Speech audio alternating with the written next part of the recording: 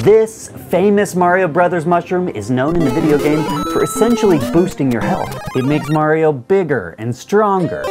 And that actually has a lot of truth in real life, but probably not for the reason you initially thought. I finally found why this mushroom is so magical, and even better, I can now share with you some of the science. We should tell them how to do it right. I think it's the limitless drug. First, if you're new to mushrooming, don't go out and start eating this mushroom. It's not like I invented something. People were using it for centuries. You sleep good, you have appetite, you're happy. I want to share what happened. That's it. I will explain to you why you too are going to want to explore this mushroom further.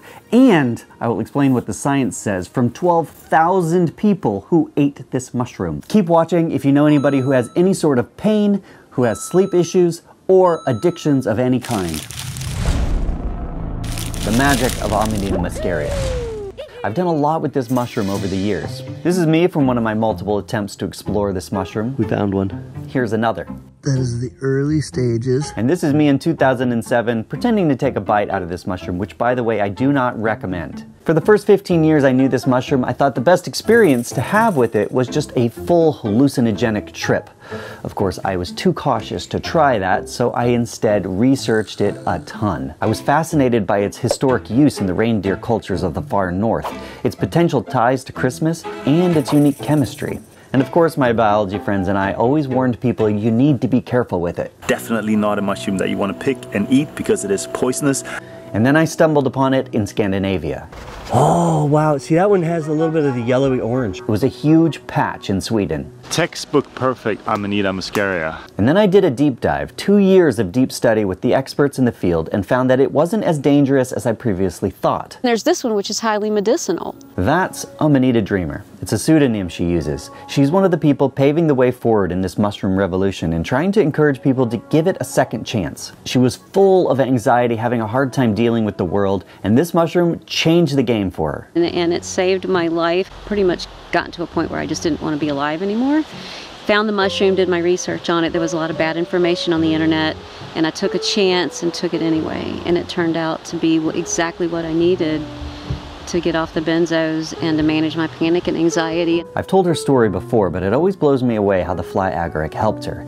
In fact, if you're ever going to experiment with this mushroom and want to do a full ceremony, she's the person to go to for the lowdown. I've done ceremonies with so many people now at high doses. However, the one thing that bothered me is that it just seemed to be a lot of anecdotal evidence. She was a great case in point, but there was not a ton of science. That is, until I met Baba Masha.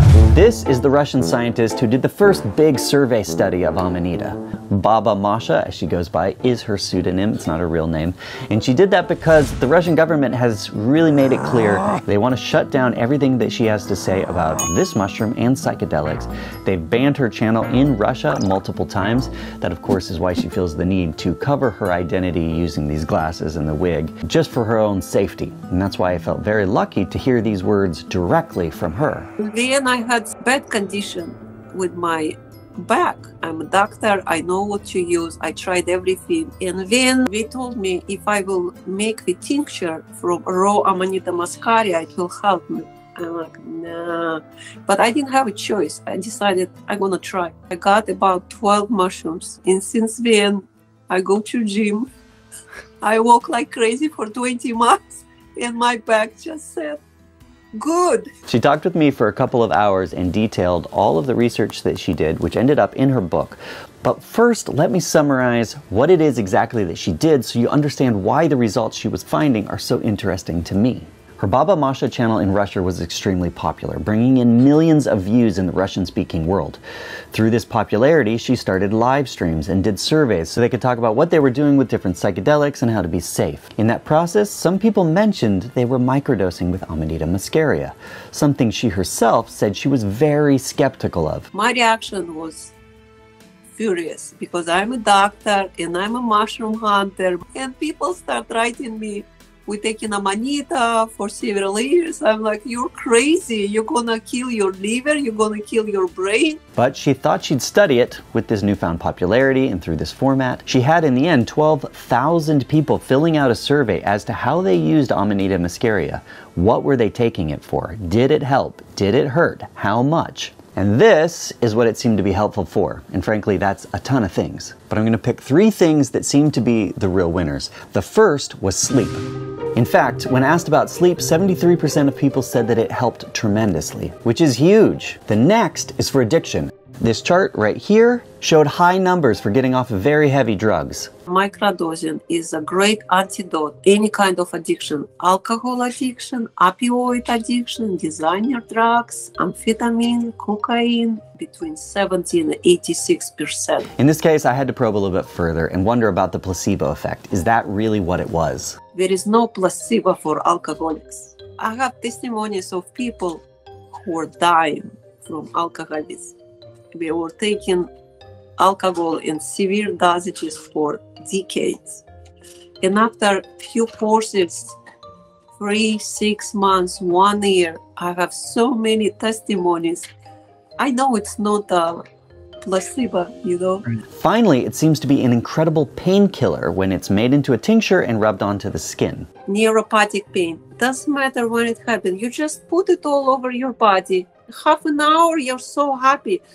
It doesn't cure the condition. It doesn't eliminate the cause, but it takes the pain away. It's not addictive like opioids, and you have energy. You're happy. It takes your bad mood, negative thinking away. All of what she was telling me is fascinating, and my first thought is well, this is probably an example where we'll take a compound out of nature, we will patent it, we will make money off of it, and then it will be something in the pharmaceutical industry. But the problem seems to be that big business is not going to be able to make any money off of this, You cannot put it in a pill and start selling it because it doesn't work. which their only small problem with that is that some of the studies that need to happen to show the effectiveness of it aren't going to happen because nobody's going to put in the investment into it. So here we are in a very interesting situation with this mushroom that grows symbiotically with trees, is hard to farm, and can't really be synthesized very easily. At this point, you might be thinking, hey, I might want to try this mushroom myself. Or maybe there's a few of you out there who are still pretty skeptical. I know I was.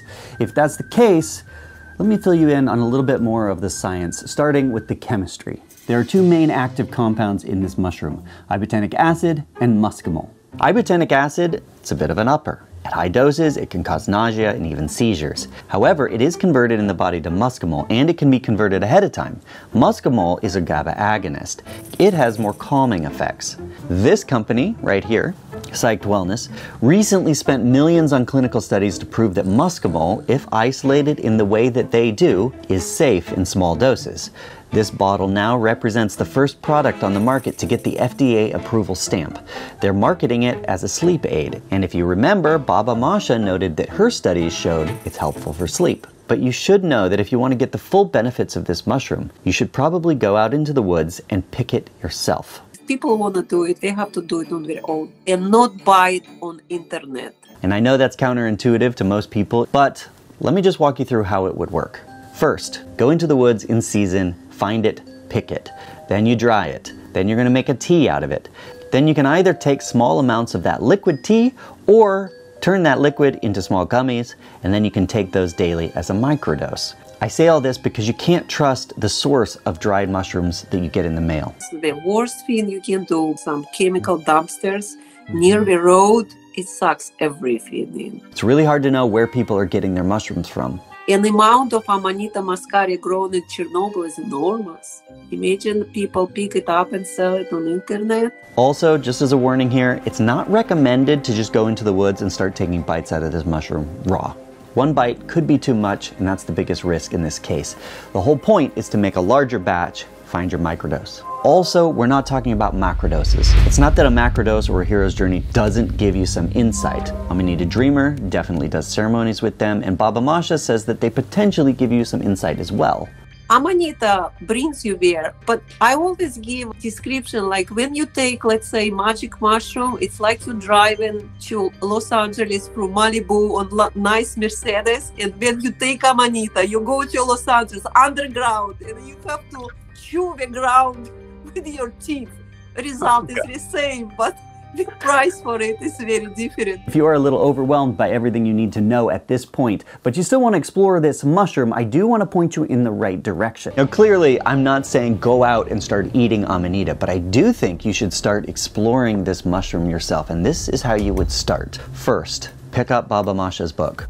There's a few chapters right here at the beginning. It's only about this much of the book. One of the best overviews of Amanita that I've seen so far, and I've done a lot of research on this. The whole back half of the book, which is about this much of the book, talks about all of the individual studies. You don't have to read every individual one, but it literally is um, giving you the details of what everyone said through her survey study. It's not a double blind placebo study but it's the first step. The second thing you should do, watch the full interview I did with Baba Masha. She walks you through the process of going and getting your own, some of the things you have to be careful about, and it's nice to hear it from her. And I would recommend at least take that hour to watch it a little bit more.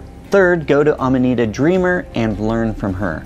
She spends all of her time detailing things that you need to know about how to prepare Amanita, things to be careful of if you want to do a full ceremony, that kind of thing. She's a great resource. Last thing, do not use Amanita if you have any of these contraindications. Don't use it if you're pregnant. Baba Masha actually took it to some of her guinea pigs and tested it out on the pregnant females, and she found it did cause some problems with those pregnant females. Don't use it if you have bipolar or schizophrenia. Probably a good recommendation. Three, Baba Masha found that it seemed to pass kidney stones. So if you have a predisposition to kidney stones, you might want to be careful using Amanita muscaria. After reviewing those things and making sure you are in the clear, now, maybe with the help of some other experienced mushroom hunters, you can start exploring this mushroom. In fact, I tried this mushroom. Measuring out the Amanita caps. And I will say that it is the one mushroom that changed my mind at the very beginning of using natural compounds from the wild. And the reason for that is that it was an interesting process to go out into the field, pick my own, cut it, dry it, make a tea from it, and then figure out what is my microdose. And what that did is it allowed me to start listening to my body, trying to figure out, okay, where's that threshold for me?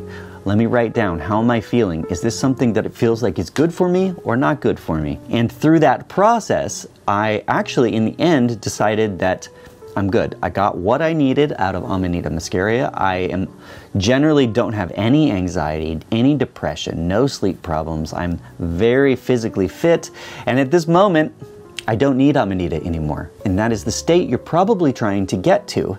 And in fact, why would you use Amanita muscaria if you're already very good? It's probably only used if you do have some of the main things, which are sleep issues, pain issues, and potentially trying to get over some sort of addiction issues.